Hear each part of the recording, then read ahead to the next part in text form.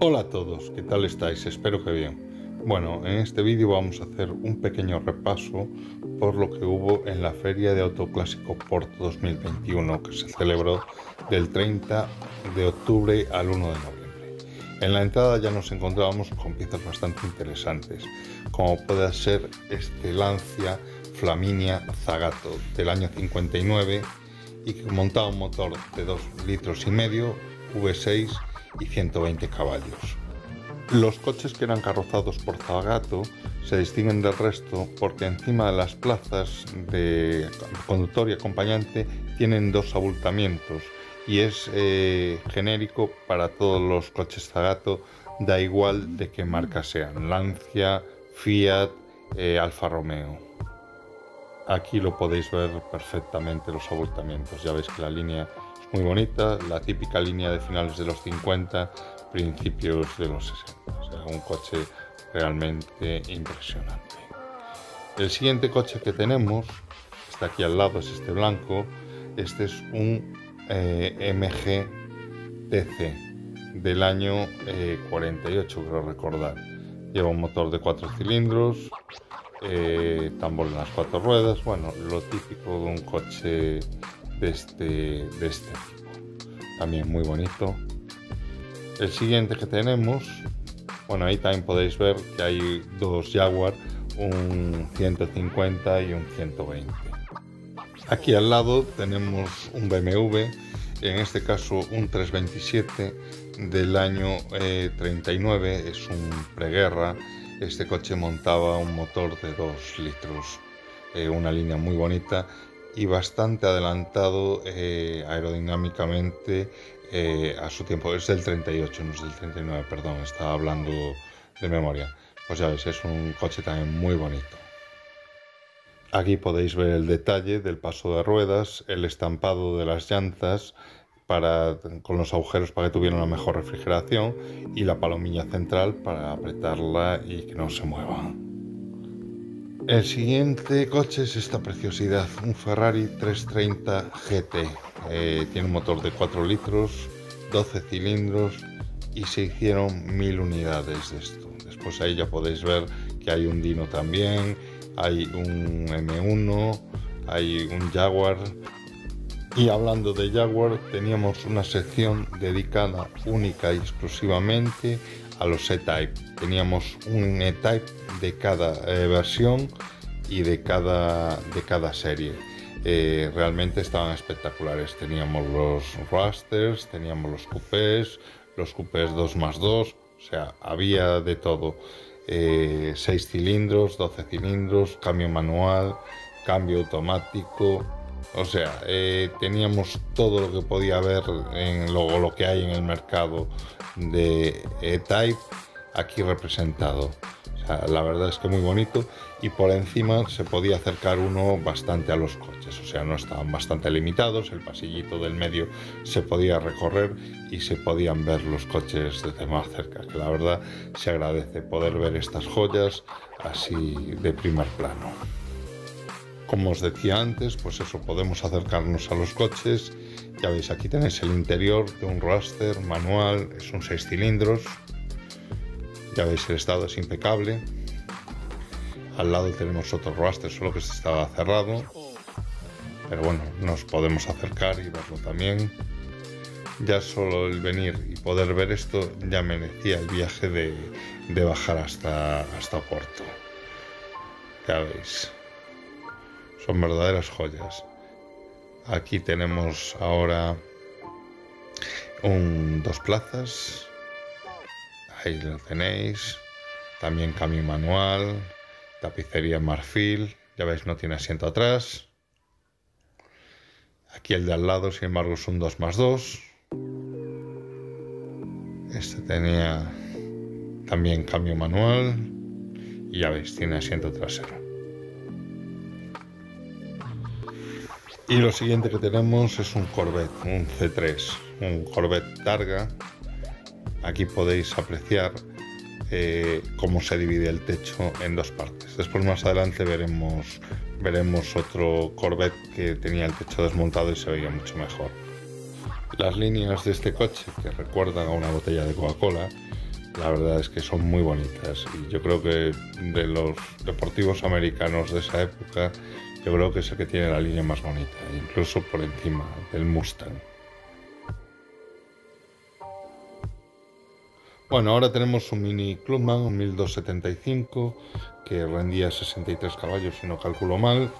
Eh, ya ves que tiene un morro muy distinto a los que se fabricaron en España. Yo como peculiaridad tuve uno de estos, pero no era el 1275. Y bueno, en toda la feria había un montón de minis con diferentes configuraciones, configuraciones de calle, restaurados, eh, sin restaurar, de carreras. Había un montón de unidades para ver y elegir. Tal vez este 1275 muy bonito. Aquí ahora teníamos un Ford Cortina y un Ford Score MK2, eh, también muy restaurados, muy bonitos y bueno, en un estado, estado muy bueno. Los dos muy bonitos, sí. Y ahora lo siguiente, tenemos ahora que está tan, tan de moda los deportivos de cuatro puertas, pues aquí tenemos el primer M3 que hubo de cuatro puertas, que es el E36. De hecho, hoy en día yo creo que es más difícil encontrar un M3 E36 de cuatro puertas que de, de dos. O sea, la conservación era muy buena y el coche está bonito. En el stand la verdad es que los chicos de BMW Portugal tenían unas piezas muy muy interesantes. Ya veis ahí el interior, no sé muy bien por culpa de los cristales, pero bueno, el coche está muy muy bonito. También tenían un Z8 gris como el que estáis viendo ahí. Tenían un Z4 QPM, tenían un 2002 y tenían un CS 2800. Todos en un estado impecable. Ya veis, el, CS será impecable. El 2002 también es un segunda serie, ya veis que tiene unos faros rectangulares en lugar de tenerlos redondos. Pero está muy muy bonito.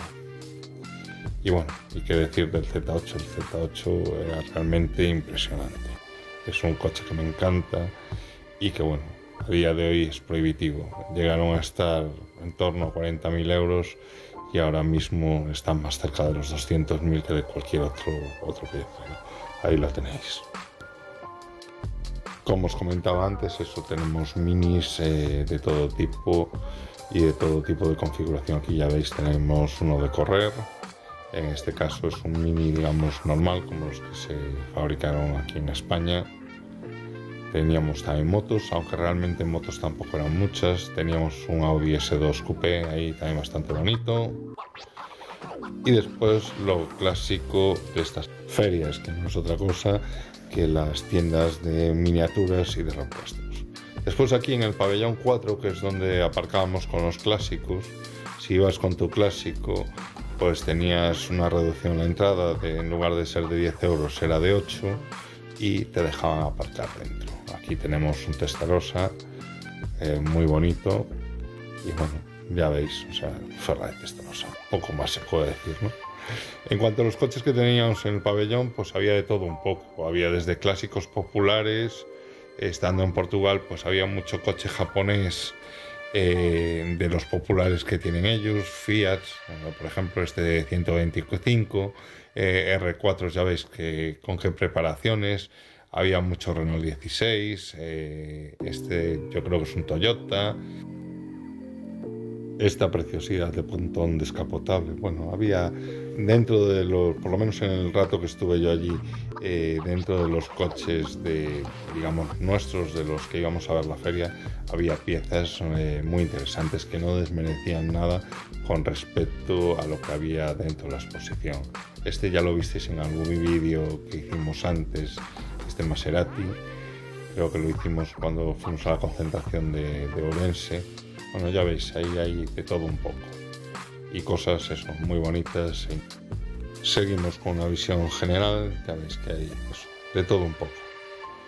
Hay donde elegir, donde ver, desde cosas más humildes a cosas más raras, cosas más deportivas, eh, más señoriales, había de todo un poco para elegir los Panda Rides, que están ahora muy de moda. Bueno, pues eso, de todo un poco.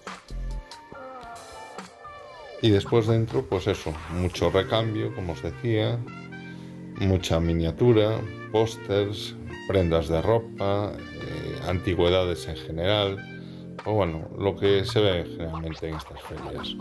Había algún que otro puesto también de comida simpático. Y bueno, para revolver, si quieres llevarte un recuerdo y no gastar mucho, pues bueno, había cosas para. Había también herramientas, había después los stands típicos de los clubs y bueno, los de miniaturas, que es eso, los que están siempre más demandados. Y dentro podíamos seguir viendo coches raros. Aquí tenemos este Citroën BX Grupo B. Ya veis el morro tan grande que tiene. Es un morro tan grande porque para alojar la mecánica que llevaba, que era la mecánica del Peugeot 505 turbo inyección, pues tuvieron que alargar el morro que si no no cogía. Igual que los laterales, el ensanchamiento, ya veis ahí que es brutal. Se ve un coche gordísimo. Quizás lo que queda es desproporcionado el, morro tan largo. Pero bueno, es un coche muy bonito de ver. Sin embargo, la pega de este coche es que los interiores son exactamente a cualquier BX eh, normal, porque incluso tiene los asientos normales, no trae ni los asientos envolventes que traía el 16 válvulas. Ahí tenéis el frente, mira el ancho de, los pases de ruedas, es, una pasada. Bueno, ¿y qué más teníamos? Pues eso, minis, eh, coches bastante normalitos, o sea, y coches también bastante especiales. Ahí tenemos un XK8R, ahí tenemos un Jaguar también, un MK2, un Opel Capitán, que en Portugal sí que se vieron, pero aquí no tanto, un Lotus, eh, ¿qué más tenemos? Bueno, pues ahí tenéis, eh, eh, digamos, hay un Porsche GT3, hay un Mini, tenemos un Auto Bianchi Ahí se ve al fondo un Minor. Ahí tenemos otro Maserati. Había piezas muy interesantes. A mí, de hecho, el, GT3 este 996 es un coche que me encanta. Es un coche que me gustaría tener algún día. Y si no puede ser un GT3, pues que sea un 996 normal. Pero este es espectacular. Aquí podemos ver un Renault, un Floride. Tenemos también un 944 descapotable, un Miata, un MG. Eh, ahí en el medio tenemos un Morena. Esto que hay aquí, que es moderno, pues no sé ni lo que es, la verdad.